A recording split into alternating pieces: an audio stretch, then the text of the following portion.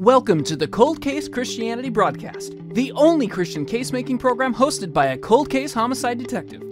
J. Warner Wallace has been investigating cold case murders in Los Angeles County for over a decade. His work has been featured on Fox News, Court TV, and Dateline. For more information about Jim's work and the case for Christianity, please visit coldcasechristianity.com. Now, here's your host, J. Warner Wallace. Thanks for joining us at Cold Case Christianity. I'm J. Warner Wallace. Um, we've been talking a little bit about how to apply some of the investigative techniques that you might use in a cold case to the Bible and to the Christian scriptures in order to investigate whether Christianity is true and actually to maybe live differently as a result of taking an evidential approach toward your faith. Now, um, I've talked about this quite a bit in a book called Forensic Faith. Uh, and in this book, I talk about four attributes of first responders that I think translate well into the life of Christians. And that comes down to four, at, uh, four characteristics, four disciplines that uh, first responders typically engage in on a daily basis. Number one, we know our duty. Two, we, we train uh, for the, uh, um, the event that may be uh, right in front of us. We train daily for things we probably are never going to have to do, but just in case we do have to do them, we train for them. And then third, we learn how to investigate truth claims, even the claims of, let's say, if you're a medical first responder, how do you investigate what kind of condition you're, you're about to treat. If you're uh, an investigative first responder, how do you know what happened at this crime scene? And then the fourth attribute, of course, is how do you communicate what you've learned as a result of your duty, training, and investigation to the world around you, either in a jury trial or maybe if you're a first responder and you show up at the hospital, what are you going to tell that doctor? These are just simple tools, simple skills uh, that we use as first responders that I think make us uh, better equipped to be in the world, but not of the world. In other words, we are always engaged in the culture around us, and we want to be engaged in that culture. As a matter of fact, they call us typically to rescue them and all uh, people in certain situations. That's why people in the general population call first responders. And and then, but at the same time, we have trained and have separated ourselves in such a way not to be an elitist, not to be somehow uh, unengaged, but so that we can better engage culture. So I thought about this as I was writing Forensic Faith, just to thought, well, can I at least help people see the skill set and apply the skill set to your Christian life? Also, I think it helps us to understand why it's so important to take an evidential approach to begin with. Now, we have been talking in recent episodes about uh, the, the skills that detectives use to investigate cases and how those skills might be applied to the Christian worldview, to the claims of Christianity typically made in the New Testament. And so today we're going to continue that by talking about how to add evidence to the case so to better know whether or not Christianity is true. And I'm talking about evidence that may not be found in the case book called the Bible, but maybe outside of the case book. And why should we even look at that? I'm going to tell you that approach in and of itself can be somewhat controversial, even within believers in the church. This idea that you would ever test the claims of Scripture, shouldn't you presuppose that the claims of Scripture are true? This is God's Word, after all. And we are not to be testing God's, I'll hear this all the time, that we're not to be testing God's Word with the word or ideas of man out here. Either they're scientific ideas or they're studies that men might engage in. The Word of God is to reign supreme. Now, I will tell you that I, in many ways, agree with people who would make claims, at least on certain principles, that are like that. Here's what I mean. I would never deny that, that God is the first mover and is of primary importance and is the work of the Holy Spirit that is foundational and precedes anything that I do as a human. And so I would say that, look, I wasn't interested in making the case for Christianity or even looking at the evidence for Christianity until God first called me. I do believe that's true. That explains my own experience as, a, as a, an investigator who was not raised in the church, who ultimately looked at the Gospels for the first time at the age of 35. I did that because a switch was flipped, and I didn't flip it. God flipped that switch. And I was then suddenly interested and open, and I was willing to lay down my presuppositions. That is the work that the Holy Spirit has to do. I was not capable of doing that because of my base nature. I run from God. I deny God. I want to be God. That is just the nature of all of us as fallen humans. So I would argue that yes, there, I'm not saying that by adding to the case, by looking for evidence to, to support Christianity outside of Scripture. I don't mean that in any way to disparage the strength of Scripture. But my own personal experience has informed the way I approach this. As most of you know, I was an, an atheist, very committed at the age of 35, but I did have uh, some believers in my family. wasn't raised by Christians, but my dad remarried, and his second wife was Mormon. And the only people I knew who ever really took Jesus uh, seriously at all were, were Mormons. Yet I, I studied Mormonism pretty quickly and read through the Book of Mormon. And those claims, of course, those folks would tell you that you are not to test what the Book of Mormon says by looking outside of what the Book of Mormon says. You are just simply to read it and to ask God to confirm for you if the Book of Mormon is true. You're not to read beyond that and look at the history of Joseph Smith or the history of the, how he translated certain documents or even the history of archaeology uh, in those areas on the North American continent where Joseph Smith said the Book of Mormon took place. That is an affront to God, according to the missionaries that I talked to, the Mormon missionaries, who would tell me that the only way to honor God in examining whether or not the Book of Mormon is true is to simply read the book to pray about it and wait for a response without taking the additional step of adding to the case with external evidence from outside the Book of Mormon. Now, look, most of you as Christians who are sitting here know that, that that's why people get confused about the Book of Mormon and would ever take it seriously, because if they ever investigated the claims of the Book of Mormon, they would know pretty quickly that they are false. Because once you look at the evidence outside of that uh, uh, those uh, the scripture, the Mormon scripture, you, you recognize pretty quickly that it's not true. So what we're going to do in this episode is we are going to talk about how we add to the case for Christianity by examining evidence outside of Scripture. Now, you might think, well, okay, let me just tell you that also from my investigative experience as a cold case detective, that most of the time I pick up a case book and I, I pull it out it's one of those red case books that is unsolved murder. And I open that murder book and it has not been solved. It's 30 years old now. And it, it doesn't, it, I, I can't solve it with what's in the case book. As a matter of fact, if it had been solvable, given what had been done already, the stuff that's been documented in the case book, it wouldn't be an unsolved. It would have been uh, adjudicated years ago. Somebody would have gone to jail. Somebody would have got convicted years ago. But it didn't happen that way because Whatever was in that case book, it's just a little bit insufficient to make the case. You might even have a suspect who's been identified by the work in that case book, but there's just something short of, uh, of a fileable case. So I have, I know when I open that case book, I am going to have to look now for uh, new sources of evidence outside of what's in the case book I'm starting with to determine to help a, a district attorney, for example, to see that this is a case that's worth filing. So my, all my work as an investigator, as a cold case investigator, is really about uh, looking outside of the casebook for additional evidence that might help me determine if what's in the casebook is true. And that's really the approach we're going to take this week when we talk about, well, is that a legitimate approach to Christianity? Look, I think it is. Because there are competing notions of Jesus out there. Uh, in the Quran, in the Book of Mormon, in the Jehovah Witness scripture. And of these different sets of scripture that describe the person of Jesus, how are we to adjudicate? You could, every one of us, each of us could say, well, we're just going to presume that our scripture is reliable and is the holy word of God, and therefore we're done. We, we begin with the presupposition that our holy scripture is telling us the truth. And guess what? That's not going to get you very far at some point we have to determine if these four books that say something about Jesus as Holy Scripture, yet they say opposite things about Jesus, which of these four is true? I think that's a fair reason to look outside of Scripture to see what we can learn to substantiate what's in these different pieces of Scripture. And that's what we're going to do. And we'll start right after the break. Be sure to download the free Cold Case Christianity app from the iTunes Store and the Android Marketplace.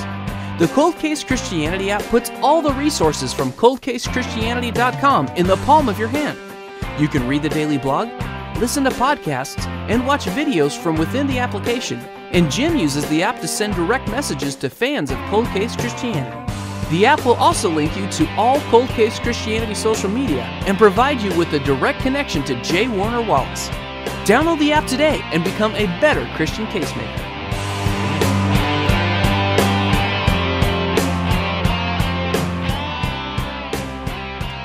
Okay, now what I want to talk about in this first uh, segment of these two we're going to do here, uh, these two little breaks here we're going to take on this issue of adding to the case, adding to the evidence we have for a Christianity to see if it's true by looking at, at evidences outside of Scripture. Now, look, what would be outside of Scripture that we could look at? Well, there, anytime I'm working with the case and somebody makes a claim, and I've got it written down in an old case book from a supplemental report from 30 years ago, where a witness has said, I saw X. Okay, fine. Now the question becomes, well, how do I determine if that is true, if that is reliable? Well, how you determine that is by looking at other sources of, of, of evidence that really corroborate these claims. That could be another eyewitness, by the way somebody else I find years later who can tell me something that might confirm details of that first eyewitness claim. Or it could be some piece of physical evidence. And so, for example, with the New Testament, I think there are several areas outside of Scripture we could look at. Archaeology would be one of those, right? The, we would look at other uh, uh, sources of information about the culture of Jerusalem in the first century, the culture of the areas around where the book of Acts took place in the first century, to see if the descriptions offered by Luke or any of the other gospel authors actually match what other people say about that region. We could even look for, to see if there are any sources outside of Scripture in which somebody writes something either about the early Christians or about Jesus himself or about the claims related to Jesus by the early Christians these would all be, I think, valid ways of checking what it is that Scripture says uh, as early as we can. For example, if I just go back to the Book of Mormon, this is these are claims that are made between 600 BC and 400 AD. Is there any other ancient claims made on the North American continent that would in any way corroborate the ancient claims of the Book of Mormon? No, there aren't and there are no archaeological claim, uh, uh, evidences to support any of the claims of the Book of Mormon. But just the opposite is true with Christianity. So, for example, I talk about this in some presentations I've done online and in an article at coldcasechristianity.com. This is an article that is um, been posted and has about almost coming up on 400,000 reads. And it simply is the article entitled, Is there any evidence for Jesus outside of the Bible, outside of the scriptures, outside of the New Testament. And if you read that article, you will see everything that I'm about to discuss um, right now uh, in this little segment. So I'm not going to go through all the details, but let me just say this. If you were to read what non Christians, including Jewish sources like Josephus, Thallus, Tacitus, Phlegon, Mara bar Serapion, um, there are several sources of ancient information about Jesus. And I limit those to within the life. So I want to make sure they had contact with people who were close to the life of Jesus. So I could find sources uh, um, in the second, third, fourth century that would continue to confirm the details. But that's pretty far removed in history. But all the ones I'm talking about are within the first hundred years. And so if you look at those sources, those are pretty close to the time of Jesus, you will be able to round out, to sketch out a profile of the person of Jesus. If you lost all of Scripture, all of Christian Scripture, and all you had were the authors that were either pagan, Greek, uh, uh, Syrian, uh, uh Persian, and Jewish, uh, or Jewish authors as well. So pagan and Jewish authors like Josephus, uh, like Thallus, like Tacitus, like Phlegon, like Mara bar Serapion. These are people that you can make a list, just um, excise out the details of those uh, that those authors are making about the person of Jesus. Look, uh, this is not unusual when I work criminal cases that somebody will be willing to admit that they were at the scene of the crime but they will deny that they were involved in the crime. But the fact that they put themselves in the scene of the crime is kind of a reluctant admission that I am going to use in court because I'm going to offer that, hey, they, they, they told you they were there and these witnesses saw they did these things. So, so we're going to be able to use these reluctant admissions of people who would um, not admit to doing the crime, but would give you enough detail that you could use in court uh, to make the case. Something similar happens here with the reluctant admissions of non-Christians, both pagan and Jewish, who are admit something, some detail about Jesus, but they won't, they, they're not believers. They won't give you the entire story of Jesus, but they will reluctantly have to admit certain details, even in order to deny other claims. So the illustration I provided in Forensic Faith, I think kind of summarizes, and take a look at, I'll leave it on the screen for a long time for you. What you'll see here in this diagram are some of the claims that are made by non-Christians about Jesus.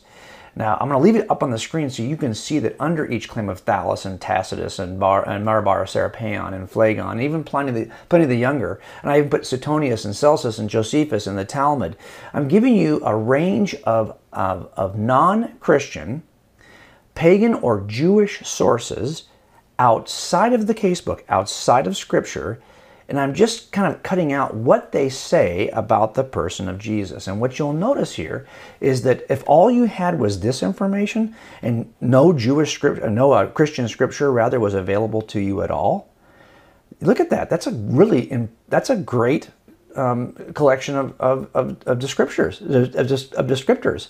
In other words, you would know a lot about Jesus um, even without Christian scripture, that he lived, that he was crucified, that there was a darkness and earthquake at his crucifixion, that he was called the Christ, that his followers were called Christians, that he was executed under Pilate and he was called a wise king, and the Jews were the ones who wanted him executed, and his teachings remained for years afterwards, that he was able to predict the future, and that he rose after death and showed signs of his crucifixion, and that his followers thought he not only rose from the grave, but that he was God incarnate, and that he was, you know, a real man called the Christ, and, and this Jewish disturbance that occurred afterwards that ultimately may have even led to the destruction of the temple, a lot of that destruction, that, that disturbance was a cause of Jesus, was a cause of that that, and that he was allegedly born of a virgin, and his father was a, allegedly a carpenter, and he had miraculous power, and he was wise, and his followers reported the resurrection.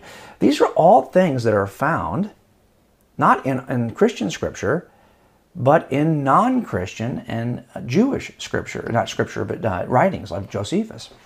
So I think you've got enough detail here outside that you can feel confident that the Christian witnesses have been corroborated.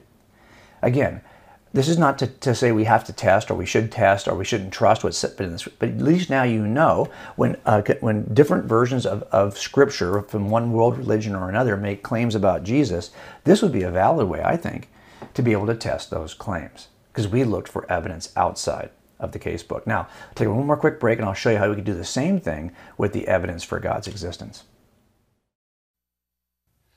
Jim, as a once angry atheist, something about the Gospels struck you as being more than, and I quote you, moralistic mythologies. They actually appear to be ancient eyewitness accounts, and that, that very fact became important to you. Why?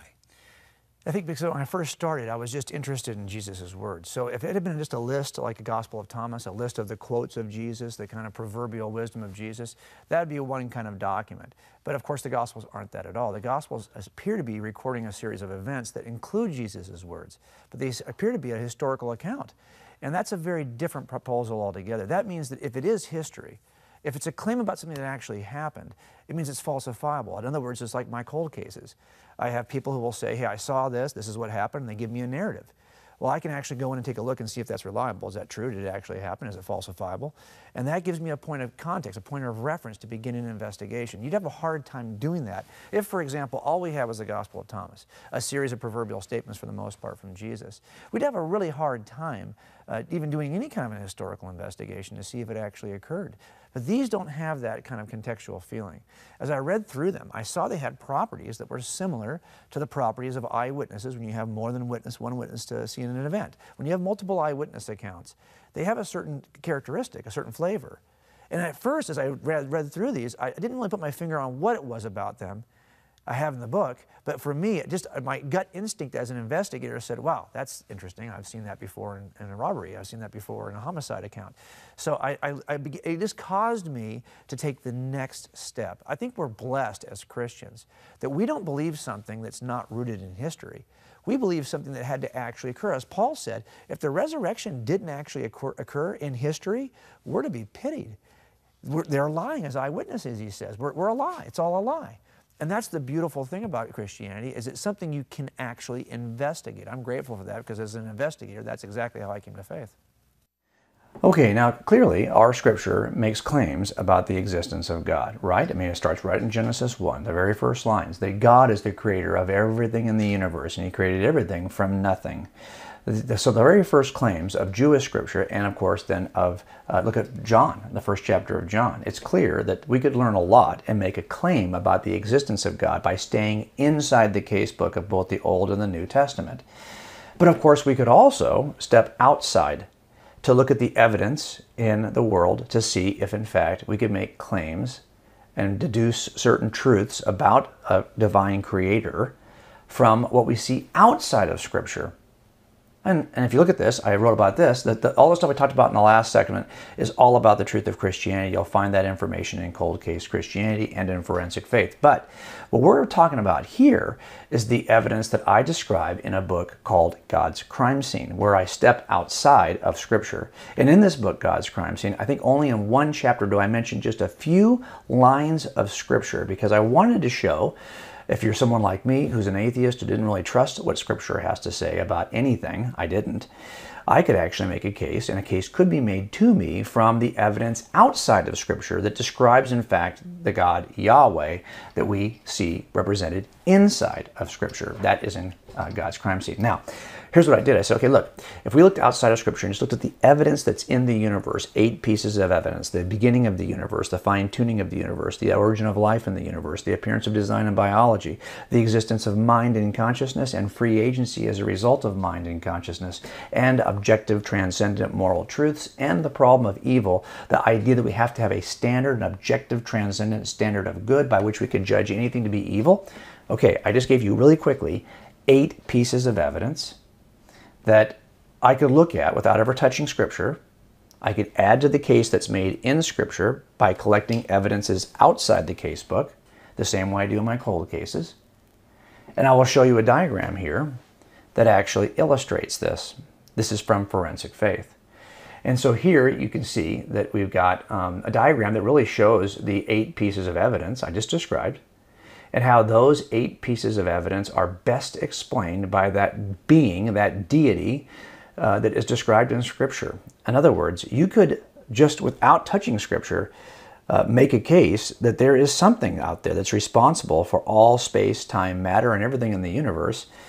And you could develop a suspect profile. And guess what? If you did that, it would look a lot like the God of the New Testament, the God of the Old Testament. And in fact, now we've been able to assemble a case for God's existence from evidence that's outside the casebook. Now, that shouldn't surprise us that what we see inside the casebook of the Bible accurately describes everything that we find outside the casebook. If I have the right suspect in one of my crimes, well, then everything I find years later should line up should also point to that suspect as the right suspect in my case, right? I mean, that's if I have the wrong suspect, I'm going to find things that will actually show me years later I had the wrong guy all along.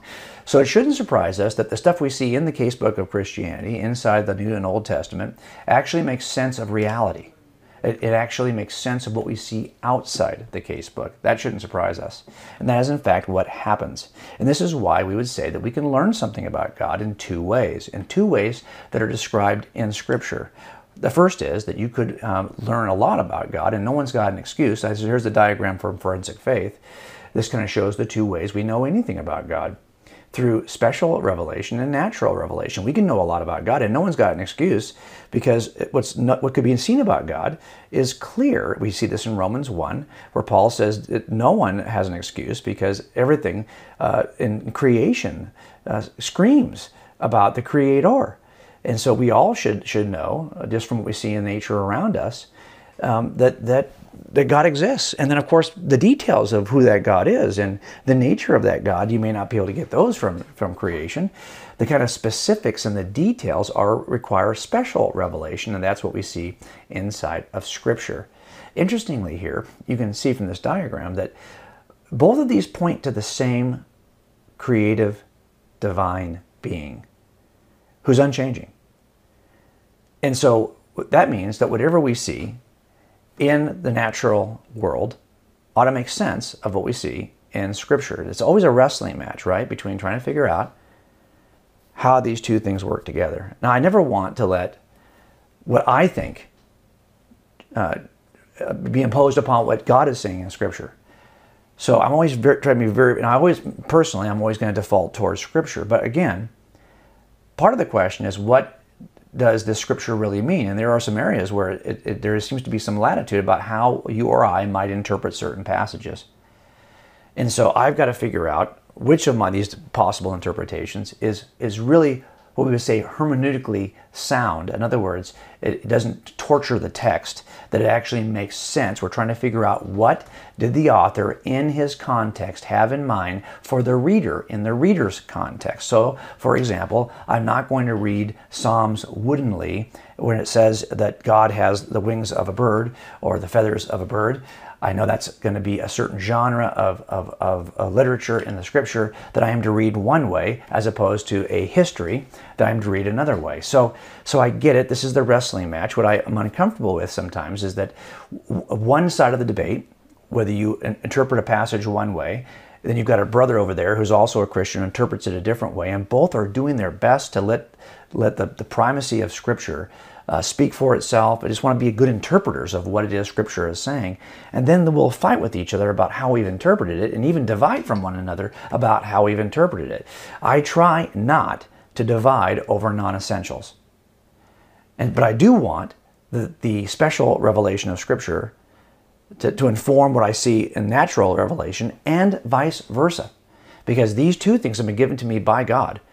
It's not that I have the, the, the, the, words and work of men on one side and the word and work of God on the other. What I have are two, two works of God, two creative aspects of God's nature that have been expressed through natural revelation and special revelation. I don't see as, it, as man's word competing with God's word.